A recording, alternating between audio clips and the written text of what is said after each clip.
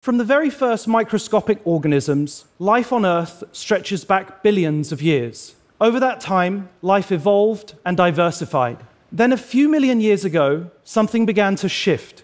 After countless cycles of growth and adaptation, one of life's branches began using tools. And that branch grew into us.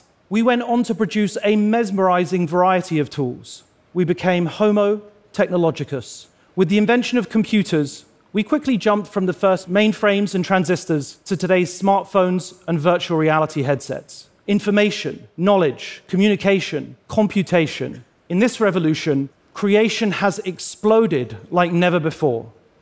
And now a new wave is upon us artificial intelligence.